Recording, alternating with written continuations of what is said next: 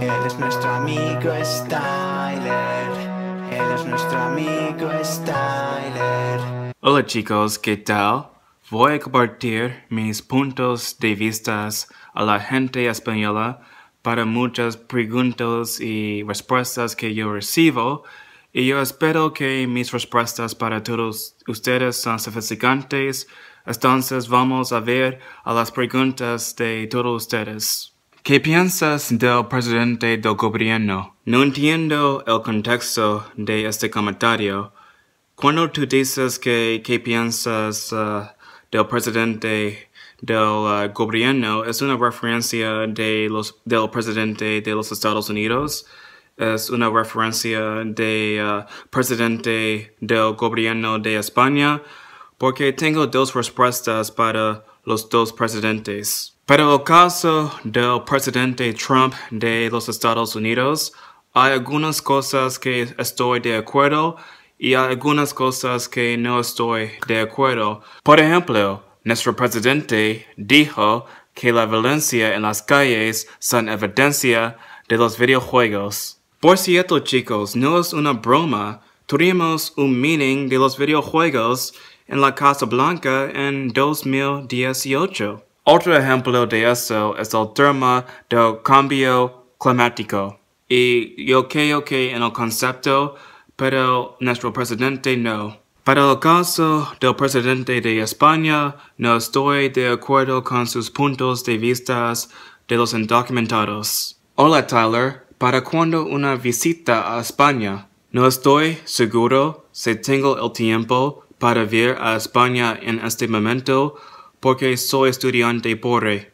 No tengo el pasaporte ni dinero para ver otros lugares. Es por eso que no puedo ver a España porque no tengo mucho dinero y soy estudiante, pero si tengo mucho dinero y tiempo y el pasaporte, obviamente me gustaría ver a España y otras partes del mundo. ¿Qué piensas de las comunidades autónomas españolas?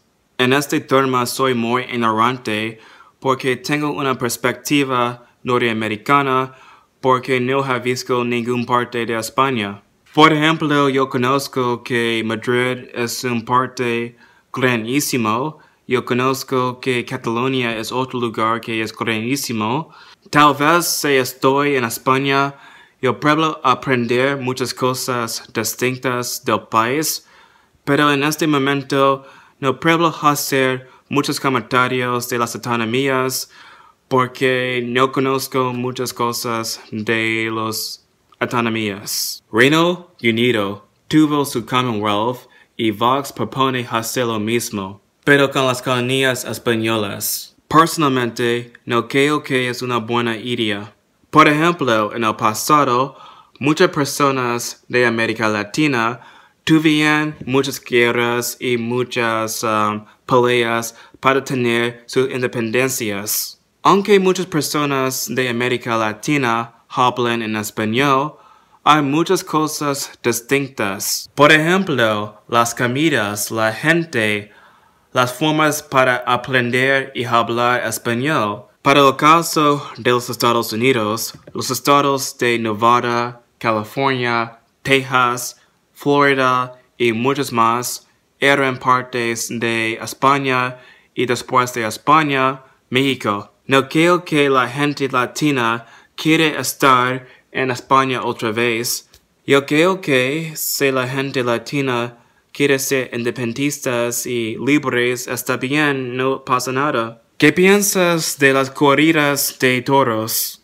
No soy fan de las peleas con los toros, uh, perdón, pero no puedes cambiar mi mente. Te recomiendo que te informes del plan de educación S-K-U-L-A-E que Podemos quiere implementar en Navarra. Ya vi el plan en internet a través de las páginas web y yo creo que es una forma de locura.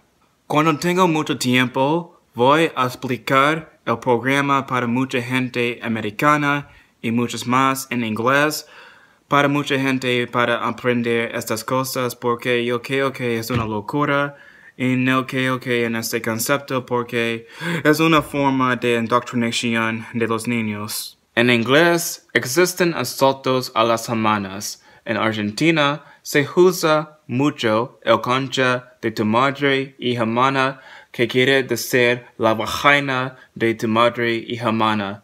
Dependiendo del contexto, pueden ser un insulto muy grave, un insulto entre muy muy amigos. Sí, tenemos dos insultos para nuestras madres en inglés. Un ejemplo de eso es una palabra se llama motherfucker.